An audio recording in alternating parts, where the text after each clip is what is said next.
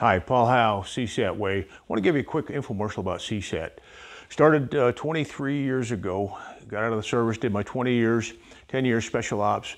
I still wanted to give back. So I went across the United States and I worked with law enforcement, uh, tactical teams primarily.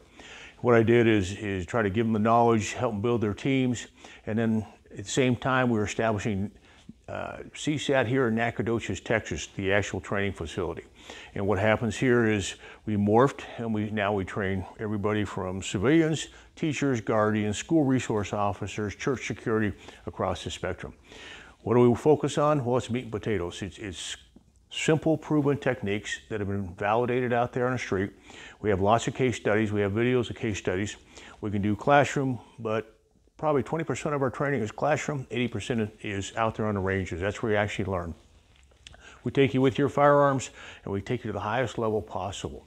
Now, what are the problems out there today? Well, what you're going to see out there in the industry, YouTube, the different channels, is the flashy stuff. Well, the flashy stuff doesn't work.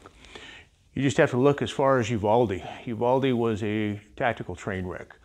Uh, you had dress up day, everybody uh, looking like a tactical peacock, all brand new gear, but they couldn't open a simple door, kill a bad guy that was killing kids. That's unacceptable.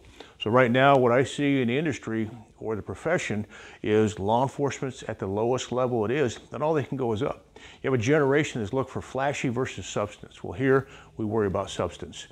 All my instructors are calibrated. I have a great category, about 10 instructors right now, uh, cross between law enforcement, mill, have some civilians have been working in the Guardian program for years in their, in their school.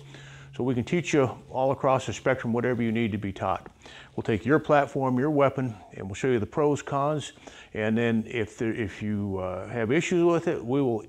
We have rental guns. We'll get you back into shooting, and then you can make a more uh, what we call it uh, informed purchase in the future. All guns are good, but you have to come and actually shoot them and put the mileage through them to figure out what's going to work and not work. The tactics, once you do your firearms, will put you through tactical scenarios.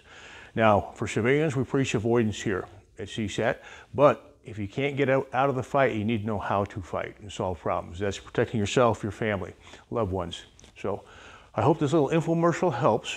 You take care, be safe, and I'll see you on the range.